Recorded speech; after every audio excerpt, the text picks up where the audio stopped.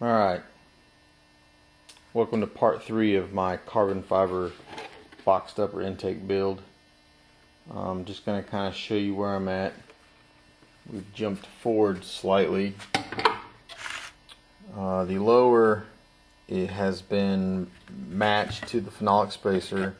Uh, the ports are cut in the carbon fiber and basically what's going to happen is uh, the intake has also been all it's all been port matched. And so basically what's going to happen is when we bolt it together we'll sandwich all three layers together in one in one deal um, with some bolts.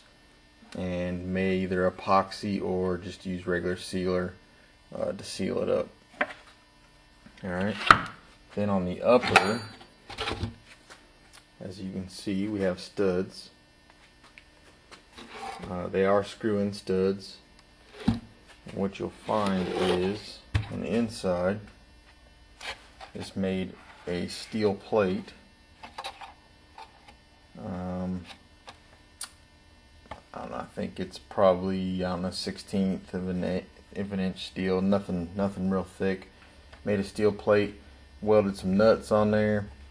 Um, and then just epoxied the plate to the inside of the carbon fiber intake. Five minute epoxy or, whatnot. And then uh, obviously cut the hole out. Um, and then the studs just screw right in or use bolts. And so when the throttle body's on there, it's just going to sandwich all, all those layers together also. Alright, then back here in the back, we have some aluminum plate that I have uh, epoxied uh, in with some uh, some like JB Weld, uh, something that gets a little harder that's you, know, you can tap or whatnot. Um, this epoxied it in, and then as you can see, I've drilled holes and already went ahead and threaded them for uh, a vacuum line. And what I also did was came in here with some aluminum um, 90 degree angled aluminum, really thin stuff, lightweight. Uh, I think I got a piece around here somewhere. Uh, anyway, you can see the thickness there. I mean, it's, it's nothing spectacular. It's, it's, it's pretty thin stuff. I've actually epoxied some of those in along the top. Uh, and what it's going to do, it's going to give the uh, the intake it gives it some three dimension in here because I'm actually going to carbon fiber back over it again put, put another layer in there. And it makes this even more rigid than what it was. It just has absolutely no flex to it now. This intake's probably going to end up under boost and I just kind of wanted to be double double secure on this deal. And I actually did a plate across the back and while I was doing this, I actually had a good idea. Um, I had to brace it along the back, but I also figured if I had to have that back there, I want to do some kind of trick with it. So as you can see from the inside, you only see one hole that's tapped. That's going to be for my vacuum line. But there's two holes back here. So the other one is just under this bracket here and it's epoxied and it's been sealed. As you can see the edges are sealed. And it's got this 90 degree here and then it actually runs down the length of the intake. And you can see I've actually marked it. And you can probably guess what I'm going to do with it um, after I uh, put another layer of carbon fiber in there. I'll probably drill these out and these are strategically placed right over the ports. You can see that they're strategically placed right over the ports of the lower. And so what we may end up doing is um, do a little top secret nitrous spray bar, um, just a little 50 shot or something, and we'll actually jet it outside the intake, and then um, hopefully it'll it'll spray um, pretty pretty evenly once these are once these are drilled out. Just a little intercooler shot.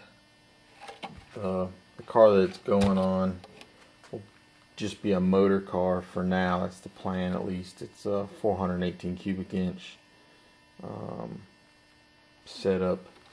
Nothing crazy, super crazy. Just looking for a little motor ride. Thought that uh, we might it a little bit um, incognito, hide the solenoid, and just make it look like we got some vacuum lines going in the back. And you know, like I said, it doubles as as strength for the backside too. So this backside has absolutely no flex to it whatsoever, just like the top and everything else. All right. So, and what I'll do is I'll pull these studs out, and it'll go back into our mold. I'll just pop it right back in there seal everything up just like we had it before.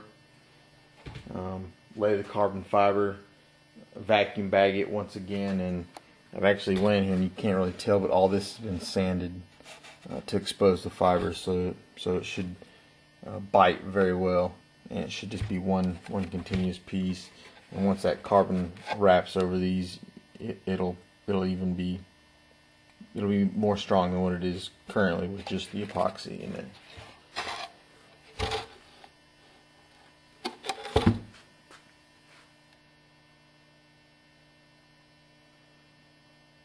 I've also been testing some epoxies to see what I'm gonna epoxy the the upper and lower back together with. I think that's what I've decided to do instead of bolting it. I can actually put a nice um, thin bead of epoxy around here and just sandwich the two together while it hardens.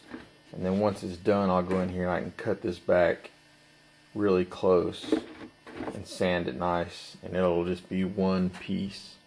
I don't think I'll ever have to take it off the lower. Uh, the lower and the upper should be able to come off the motor together so that shouldn't be an issue. Um, so what I've done is I've took some of the pieces that I've cut out here and just did some test patches. Um, what I've found is that the standard 5 minute epoxy that you may get in the tubes like this doesn't quite hold very well. It actually pops right off. Um, this is something that's close to that. This here, Let's see if I can get it to pop. Well, apparently that one works a little better than this one does. But I've also found like the JB Weld type epoxy here. You can see it's gray in color holds extremely well. Um, I've actually worked on this piece, getting it off uh, with both hands, and I just don't see the two separating uh, without just breaking the, the fibers up. Alright, we are basically finished with this thing. As you can see, two halves are together. It's actually mounted on the lower. I've threw, threw some fuel rails on there just to kind of see how they mock up. Um, but uh, we uh, it's bonded um, and basically what I did was I just used a two-part epoxy and see if we can see in here so you can see the uh, phenolic spacer there bolts the lower down and then you can actually see um, back there on the back side. It's where the two-part epoxies come out and um, I just reached in there and kind of cleaned it up by hand. So you can see with this big 90 millimeter opening you can reach your hand right in there get get around to all the edges. Um, and you could probably reach in there and unscrew those bolts that are attaching it to the lower uh, to take the thing off if you needed to I'm not really sure how easy it would be I don't see any reason to take it off um, your fuel rails and all that stuff are going to be easy to get up, get to. All your bolts are going to be easy to get to, and so mounting it and dismounting it from the engine uh, is going to be one simple step. Just take all your bolts out. The whole thing should come off together. Um, so as far as I'm concerned, it's one piece from here on out. Um, got a couple studs in here now. I just had the throttle body on it, but you can see how the things just screw right into those nuts and bottom out, just like that. Um, the only thing I really have left to do at this point is trim off this excess flange and you can see where I've marked it so now all I've got left to do is just trim it off and you can see here where I've, I've marked a line uh, about where I want it and I'm just going to take like an air saw and just trim all that off and probably go over and just clean it up a little bit um, and then um, just a good water sanding the whole thing. Good water sand you can see it's got well I don't know if you can see it or not but it's got really small pinholes up top. I'll probably go back and fill that with an epoxy. May even use like a polyester epoxy which is mainly just for looks um, not for strength so much may use it. I don't, I don't know exactly what I'm gonna do but I'll um, I'll clean it up sand it water sand it fill the pinholes and then go back and um, probably put a clear coat on it. Just a basic automotive clear coat that would go on a car and it should really give it that um, glassy look that uh, that you see on all your carbon fiber stuff. Alrighty well that's it. That's the build. Thanks for watching. Um, for any information or to ask questions this build is also on uh, my forum the, the fabforums.com if you have any questions, just uh, go on there. Feel free to ask me questions under the carbon fiber section, and um, I'll answer them the best I can. Uh, we've also got a list of all the supplies that I used on our our uh, um, resource page, so you can go to the resource page and um, get the carbon and the epoxy and the vacuum bagging materials and everything that you might need. Um, I'll try to get one last uh, picture on this video of if, if it actually on the car working and functioning uh, so you can kind of get an idea of what the very finished product was but um, hope you enjoyed